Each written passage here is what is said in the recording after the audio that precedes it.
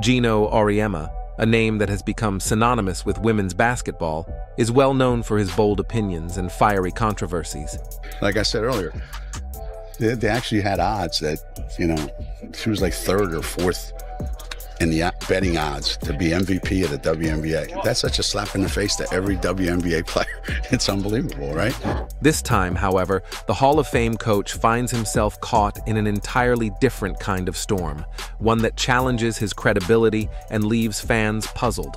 For years, Auriemma has been Caitlin Clark's most vocal critic, famously dismissing her potential in the WNBA and mocking her fans as delusional. Yet, Clark didn't just prove him wrong, she exceeded all expectations, emerging as one of the league's brightest stars in her rookie season. Her unforgettable performances amazed fans and analysts alike, while putting immense pressure on her fiercest critics. In a surprising twist, Auriemma has shifted from skeptic to enthusiast, showering Clark with praise so effusive it seems almost out of character. The college career that, that Caitlin had ignited a tremendous amount of attention, an incredible phenomenon that very rarely happens, and it certainly changed the landscape, no question. Is this genuine admiration, or could there be another reason behind this sudden change? Rumors are circulating that it might be linked to a recent investment he made, a decision that could have significant implications for both his legacy and Clark's future. What's driving Geno's dramatic shift? In this video, we'll explore Coach Geno's unexpected 180-degree turn, what he said, why he might have done it, and how Caitlin Clark fits into this intriguing puzzle. Before we dive in, don't forget to subscribe to the channel. Ready? Let's get started. That's the worst part about new fans. You know, they they have no perspective. They have no there's no context. So they just they just say ridiculous nonsense Geno Auriemma has never been one to hold back his opinions, even when they put him at odds with some of the brightest rising stars in basketball. Among his most notable targets is Caitlin Clark, the fiery Indiana Fever rookie, who has faced some of Geno's harshest criticisms, dating back to her college days at Iowa. The delusional fan base that follows her disrespected the WNBA players by saying she's going to go in that league and tear it apart. There were actually odds on what are like she's third or fourth in betting odds on being MVP at the WNBA. These people are so disrespectful and so unknowledgeable and so stupid that it gives women's basketball a bad name. Okay, so the kid was set up for failure right from the beginning. It all began when Clark, one of the most highly sought after recruits in the nation, made an unexpected choice. She chose Iowa over powerhouse UConn. Auriemma, whose program has long been the pinnacle of women's college basketball, reportedly took the rejection personally. But Clark didn't stop there. She returned to haunt him on the court. In the 2024 NCAA Final Four, Clark led Iowa to a stunning victory over UConn, solidifying her status as a generational talent in the eyes of fans. However, Geno remained unconvinced. Shortly after her college dominance, he unleashed a wave of skepticism about her ability to succeed in the WNBA. On a popular sports talk show, he mocked her fan base as delusional, accusing them of overestimating her abilities. She's not built for the physicality of the league, he claimed. She's not quick enough, and her game won't translate.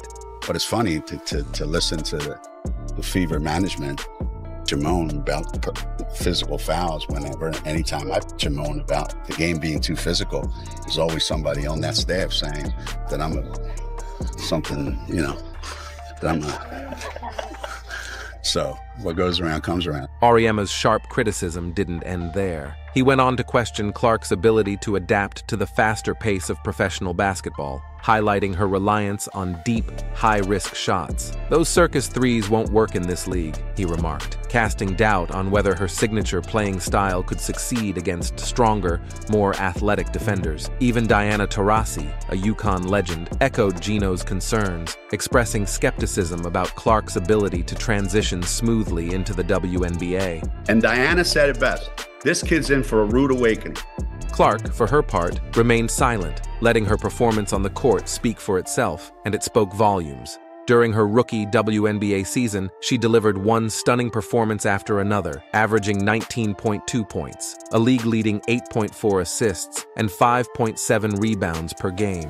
She led the Indiana Fever to their first playoff appearance since 2016, earned Rookie of the Year honors, was named first-team All-WNBA, and shattered 62 records in the process. Her achievements weren't just impressive, they were historic. Geno's earlier criticisms quickly became a source of ridicule. Social media was flooded with memes juxtaposing his harsh remarks against Clark's highlight reels. How's that physicality looking now, Geno? read one tweet alongside a clip of Clark sinking a deep three-pointer over towering defenders. Another viral post featured a collage of Geno's scathing quotes with the caption, This aged well, just like milk. With each game, the chorus of praise for Clark grew louder, casting an undeniable shadow over her doubters. This kid's on the wrong team. She's got the wrong skill set to handle the physicality of that league. And she's a rookie. Things take an even more intriguing turn in recent weeks, as Geno has transformed from a skeptic to a superfan.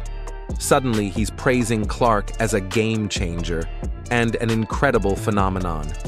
But what's behind this sudden shift? That's what we're about to uncover. If you've made it this far and are enjoying the video, don't forget to like, subscribe, and turn on notifications. We appreciate you taking the time to watch. Now, let's get back to the action. So I love her. I think she's the best player. Forget I ever said Paige is the best player in the country. I think she's the best player of all time. Would you have ever imagined Geno Auriemma the same coach who once dismissed Caitlin Clark's fans as delusional, now calling her better than Paige Bueckers? Yet, that's exactly what's happening, and it's leaving everyone puzzled. Is Geno genuinely this impressed, or is there more behind this sudden wave of admiration? Let's take a closer look. He now describes Clark as an incredible phenomenon, a rarity that has undeniably transformed the landscape of women's basketball. According to Geno, Clark isn't just talented, she's a once-in-a-lifetime player who has revolutionized the game. Her signature deep threes and fearless leadership, once criticized as reckless, are now hailed as groundbreaking. No question, he recently said, it's remarkable how time and results can shift perspectives. Then there's her leadership, which has further cemented her as a game-changing force in the sport. The sign of a really, really good player is someone who can have an impact on the game when they don't necessarily shoot it. They can do other things to help your team win. This is the same person who once questioned her ability to embrace a team-first approach to basketball. Now, he's practically campaigning to put her in the Basketball Hall of Fame for her ability to elevate those around her. Geno even highlighted specific moments from her rookie season, praising how she doesn't just deliver flashy plays, she inspires her teammates to believe they can win. But that's not all. Her competitiveness takes it to an entirely new level. I think the one thing they have in common is their competitiveness. You know, um, the way they transcend their team, even. You know, it's like um, there isn't anything they think they can't do. You can tell, you know, Caitlin thinks there's not a shot that she can't make. There's not a play that she can't make. Geno describes Caitlin's fiery passion as a force that not only drives her own team, but also propels the entire league forward. It's the kind of fire you can't teach, he remarked, calling her the embodiment of the future of women's basketball. For someone who once doubted her ability to handle the physicality of the WNBA, this marks a significant turnaround. It almost feels as though Geno is attempting to rewrite his own narrative about her. The rest of the team starts to feel like that as well. So they're dangerous not because of what Caitlin does, but, but what somebody like her infuses on the rest of their team. That's what's cool about it. And finally, the ultimate accolade, better than Paige Bueckers. That's right, Geno outright admitted that Caitlin Clark has set a new standard, even surpassing his UConn superstar. If you know anything about Geno, you know he rarely, if ever, acknowledges anyone being better than one of his own players. This is a big deal. Fans of both players have debated this for years, but hearing Geno himself concede it, That's next level. So, what's behind this sudden change of heart? Perhaps watching Clark dominate the WNBA convinced him she's the real deal. But not everyone is buying it. Here's the twist Geno has a significant financial stake in Unrivaled, the new 3 on 3 basketball league that has been aggressively pursuing Clark. Coincidence? Maybe. But the timing of his glowing praise has raised eyebrows, making it seem as though he's trying to win over the one player who could determine the league's and his investment's success. Rival League is picking up players and they're getting ready to make a big splash in January with this league. Is Geno's newfound admiration genuine, or is he simply playing the long game to win over Caitlin Clark? Whatever the case, one thing is clear this story is far from over. Up next, we'll uncover how Unrivaled went all out in their attempt to recruit Clark and why it ultimately failed. Caitlin Clark, arguably the most marketable star in women's basketball, became the focal point of an aggressive recruitment campaign by the upstart Unrivaled League. With millions of dollars and their reputation at stake, the league spared no effort in trying to bring her on board. Yet, despite their lavish offers and relentless push, Clark turned them down, and the aftermath has been nothing short of dramatic. She has decided not to do unrivaled, even though Aliyah Boston's doing it, Lexie Hull is doing it, Kate Martin is doing it, and despite all the rumors, and I'm sure the push that was put on her. But Clark has all the leverage in this situation, and I'm not saying she flexed it, but she was comfortable in, enough in her position to make the decision, and it appears that answer is no. First, what is Unrivaled? For those who may not know, Unrivaled is a newly launched 3 on 3 basketball league designed to offer WNBA players a lucrative alternative to playing overseas during the offseason. Co-founded by stars like Napheesa Collier and Breanna Stewart, the league promised six-figure salaries, equity stakes, and a fast-paced format tailored to highlight individual talent. With backing from high-profile investors such as NBA legend Carmelo Anthony, soccer star Alex Morgan, and notably, Geno Auriemma, Unrivaled set out with one primary goal, to make a big splash in its debut season. There's a lot of investors in this league. One investor, you know, been trying to keep quiet about, you know, his investment in the league ever since his comments that he made about a young rookie. Pretty much, you know, had him in the headlines for about a month and a half. That is you Geno Auriemma, dog. I'm here to tell you, he's part owner of this league. And who better to headline this new league than Caitlin Clark? From the moment Unrivaled was announced, Rumors swirled about her potential involvement. The league fueled the speculation, dropping cryptic hints on social media, including references to her iconic jersey number, 22. The hype reached its peak when they teased game-changing announcements during their roster reveal. Fans were certain Clark would be the face of the league, but when the roster was finally unveiled, Clark was nowhere to be seen. Of the 36 players announced, only 34 were named, with two wildcard slots left open. Fans quickly cried foul, accusing Unrivaled of using Clark's name to drum up excitement without actually securing her. One frustrated fan tweeted, That was the most disgusting bait and switch I've ever seen. Obviously, they've tried to do everything they could to make the most of to make the most of the situation. They tried to do make the most of Caitlin Clark not playing by hinting everything and for like and well, I'm basically making people think that Caitlin Clark was going to play. So why didn't Clark join? According to sources, Unrivaled offered her a staggering contract worth over $1 million for an eight-week season, an unprecedented figure in women's basketball. However, Clark turned it down. Her reason? She's been on a relentless schedule since her senior season at Iowa, transitioning directly into her historic WNBA rookie campaign.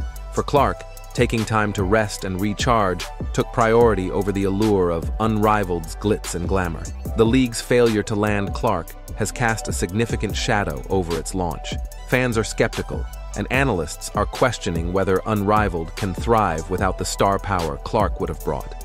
As for Geno, his investment in the league is starting to look increasingly risky, and when Clark officially confirmed she wouldn't be joining, his reaction didn't go unnoticed. Well, look like Geno Auriemma could be the reason why Caitlin Clark is definitely not joining the unrivaled 3 on 3 basketball league. When Caitlin Clark officially declined to join the Unrivaled League, the news landed like a ton of bricks.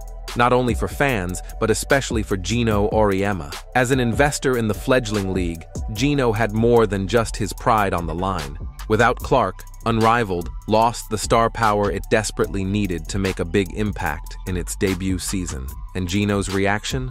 Let's just say it was anything but subtle. We'll see how Unrivaled does without Caitlin Clark. They could still succeed, but we know what it would have meant if they had secured her on one of those rosters. Sources close to the situation revealed that Geno Auriemma was visibly frustrated when news of Clark's decision broke. While the league pushed forward with hyping its roster reveal, the absence of Clark cast a long shadow. Social media buzz quickly fizzled, and analysts began to question whether Unrivaled could gain traction without the one player capable of drawing in casual fans. Losing Caitlin Clark is a massive blow, one commentator remarked. She's not just a player, she's a brand, and that brand just said no. After years of criticism from Geno, Clark's refusal felt like poetic justice. Meantime, I know some of y'all were very happy that she's not doing Unrivaled as, you know, to stick it to the, the people who treated her poorly. And what does this mean for Unrivaled's future? The league's business model relied heavily on marquee stars like Clark to attract sponsors and viewers. Without her, the wildcard slots, intended as a clever marketing strategy, now appear to be a last-minute effort to fill gaps. Critics are beginning to doubt whether the league's ambitious plans, including six-figure salaries and equity stakes, can remain sustainable without a major star like Clark. I gotta ask you a basketball question. Yeah. I know that you work really hard in the off season. You said yesterday you're always trying to get better. Mm-hmm. What's the thing that you're working on in this off season? I think honestly, besides the actual basketball skill part of it, I think getting stronger. That's what I'm focusing on. I'm in the weight room a lot, just building that strength. Obviously, it was hard going right from the college season to the professional season. You don't get to spend a lot of time in the weight room, so that's what I've tried to focus on the most um, here. And then obviously a lot of things on the court. I'm always wanting to get better, and that's kind of what drives me, and I love it. I love getting to do it, and I feel very fortunate that it's my job.